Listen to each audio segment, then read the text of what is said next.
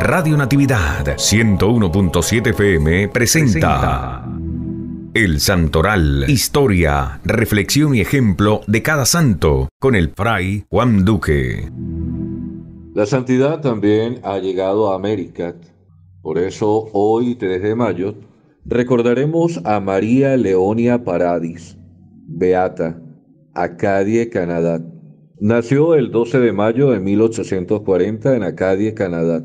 Entró en la congregación de la Santa Cruz y fundó luego un instituto independiente de las Hermanitas de la Sagrada Familia.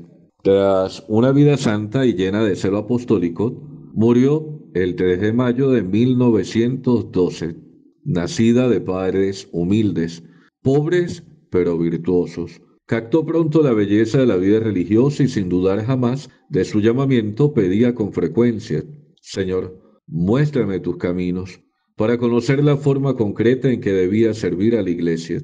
Descubrió y propuso a sus hijas espirituales un compromiso especial, el de servir en los centros de educación, seminarios y casas sacerdotales.